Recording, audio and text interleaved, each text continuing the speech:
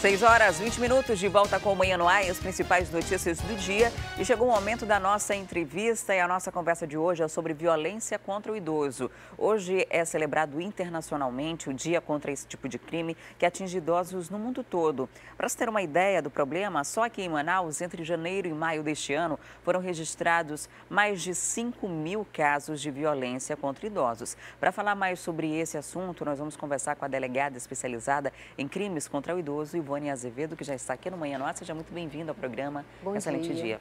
Bom dia.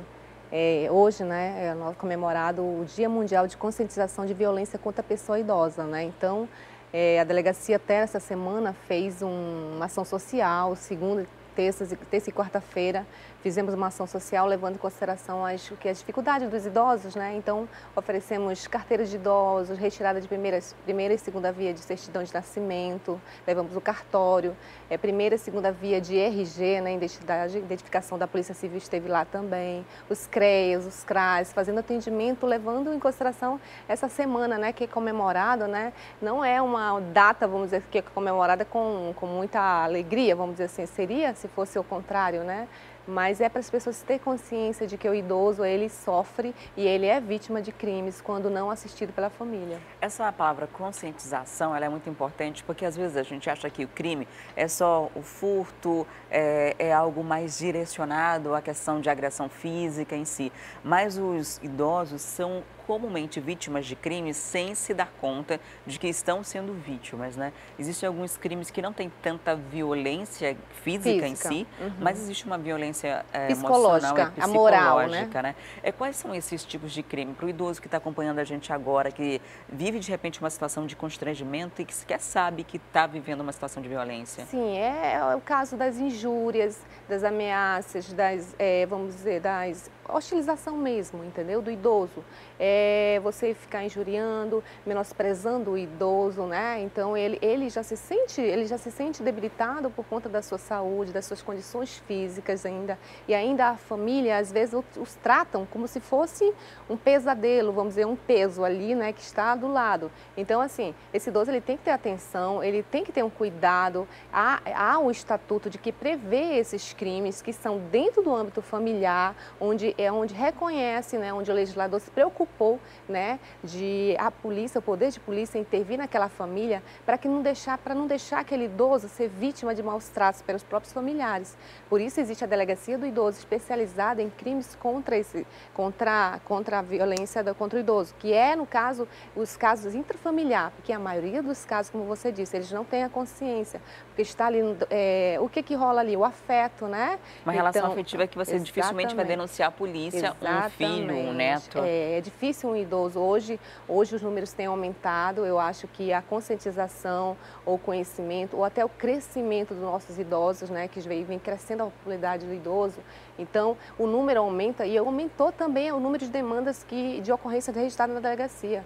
Que ano passado a gente registrou nessa data é, em torno de, de 500 a 600 ocorrências. Hoje já estamos em torno de mil ocorrências. Isso quer dizer, aumentou a procura da delegacia, é, aumentou casos, ou, ou, já se tem, vinha, vinha acontecendo, só que eles não tinham conhecimento de que eles tinham esse direito e para onde ir buscar ajuda. Né? O que costuma acontecer normalmente nesses casos de injúria, de ameaça, é, por exemplo, é reter o salário do, da aposentadoria? De cartão é, também a situação de fazer ameaça, se você não me der isso, eu não vou cuidar de você, não vou lhe levar no hospital. Isso. Esse tipo de, de situação tem, toda tem. pode ser denunciada à polícia? Pode ser denunciada sim. A retenção de cartão, o idoso ele tem o direito de ter o cartão dele, ele tem o direito de gerenciar os proventos dele, o benefício dele, né? A não ser que ele seja incapaz. Se ele não for incapaz, ele pode muito bem também gerenciar os bens deles, os patrimônios. O que acontece muito é que os familiares acham que o fato de ele ser idoso, ele não tem mais condições de gerenciar o patrimônio dele. Isso não é é, entendeu? E as pessoas têm que respeitar isso. E, e, e, e dizer assim, ah, meu pai, vamos dizer assim, o pai, o avô, né? É, pegar o cartão e usar em benefício próprio desse filho ou desse neto e não em prol desse idoso. Isso é um crime, tá? Você está se apropriando de uma coisa que não é sua. A finalidade desse benefício não é esse, é do idoso, entendeu? Então, é, é isso, isso tudo, é, às vezes, os idosos não têm consciência e eles acabam se acostumando. E a partir do momento que, às vezes, eles são, eles são esclarecidos desses crimes, eles procuram a. Quando é uma, um caso de violência, não só violência psicológica, mas a violência física também, uhum. e é uhum. dentro do lar, é, a gente costuma muito falar sobre isso de violência doméstica Sim. em relação à união entre homem e mulher. Quando se trata de um idoso, como é o procedimento? O que, que pode ser feito para que a, a, o idoso possa ter uma garantia de que vai estar em segurança mesmo depois de fazer a denúncia? É, no caso, você está falando da violência doméstica, é, é, há uma conciliação né, do Estatuto do Idoso com a Lei Maria da Penha. O que a gente pede? A medida protetiva de urgência para afastar aquele agressor do lar naquele momento, entendeu? Então, é, usa-se esse mecanismo tanto para a idosa quanto para o idoso. Para o idoso é usada a defensoria, ela entra com uma medida restritiva de direito, onde afasta esse agressor do lar. Então, essas violências, quando ela envolve violência física e há, há o perigo de integridade a esse idoso, é, é usado esse mecanismo para afastar do lar. Então, a gente usa a Lei Maria da Penha também para conciliar com a, com a violência doméstica. E são muitos os casos registrados, né? A gente preparou aqui uma arte com esses números de crimes contra idosos desde o início do ano para cá. Vamos mostrar para você aí de casa, que eles passam de 5 mil casos, né? São mais de 5 mil casos aí de violência contra ah, os idosos e esses crimes não foram registrados apenas na delegacia especializada, são de todas as delegacias no período entre janeiro e maio deste ano. Roubos e furtos lideram o ranking mais de 2 mil ocorrências. Isso se dá muito pela vulnerabilidade dessas pessoas, né? De Sim. não se defender ou reagir a um assalto ou até mesmo de precisar de uma ajuda quando vai num, num banco ou algo do tipo. É, é o que a gente sempre orienta os idosos em palestra, é o quê? Que eles sempre vão ao banco acompanhados de alguém, né? Para eles nunca irem sozinhos, porque ele se torna uma presa fácil, né? O delinquente, quando vê o idoso, ele sabe que a condição dele, é, é, vamos dizer, a vantagem que ele tem sobre esse idoso é bem maior. Então, por isso, é, há esse alarmoso aí número de, de vítimas de idosos, de furtos e roubos. E, além disso, tem aquele hábito cultural, né, do idoso de sacar o dinheiro todo, né? É... Normalmente, hoje, a gente usa aplicativos, paga em débito, é, consegue manusear em smartphones e tablets, no próprio computador, o dinheiro. E o idoso tem ele... ainda aquela necessidade e se sente inseguro de fazer isso. Então ele vai lá e saca o dinheiro todo. Então é muito mais fácil para o bandido ter ideia de que ele está com dinheiro na mão quando chega o dia da, de recebimento. Né? Exatamente. Né? Ele, o idoso ele quer ter aquilo na mão. Ele, ele não, não confia no, no, no, celular, ele não confia em aplicativo. Muitas vezes ele quer ir na boca do caixa mesmo, ele mesmo tirar, entendeu? Então, assim, que o que a gente pede que esse idoso, ele tenha consciência de que ele está correndo risco, né? Então, sempre leve alguém com ele para nunca ir sozinho, seja que ele quer ir lá na boca do caixa sacar o dinheirinho dele. Entre esses crimes, tem um que me chamou a atenção também, que são os casos de estelionato, né? É, justamente também por conta dessa vulnerabilidade. Vulnerabilidade do idoso, ele é induzido, né, muitas vezes, a, a afirmar um negócio do qual a pessoa está levando vantagem em cima dele, e é, no caso, um puro estelionato, né? No caso, há, há no Estatuto estatuto a, o induzimento, né, o induzimento a, a, você induzir um idoso a se o quê? Ter um prejuízo, né? Se torna um crime, que é o próprio estatuto que tem contempla o estatuto também.